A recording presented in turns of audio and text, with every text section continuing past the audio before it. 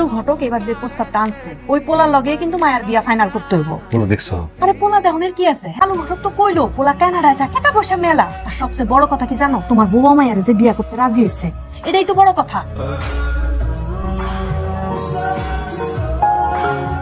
ছিল বিদেশ? তোমাকে নিয়ে যাবে? আমি জানি আমি জানি। তুমি চিন্তা করো আমি আমি আমি লিখব আমি লিখব আমি আমি আমি প্রতিদিন চিঠি লিখব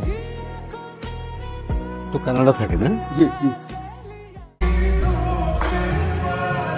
ওরা আমাকে পছন্দ করে ফেলেছে। আগামী দশ দিন পর শুক্রবার বিয়ের দিন ঠিক করে ফেলেছে। আমি কি করব? কিছুই বুঝতে পারছি না। আমার মাথা কাজ করতেছে না। তোমাকে ছাড়া আমি অন্য কাউকে বিয়ে করতে পারব না। তোমাকে ছাড়া অন্য কোনো পুরুষকে আমার জীবনে আমি ভাবতেও পারি না। প্লিজ কিছু একটা করো। আমার বাবা ভাইকে আমি চিনি। ওরা কেউই আমাদের মেনে নেবেন এটাই ভালো হবে। আমরা দূরে কোথাও পালিয়ে যাই।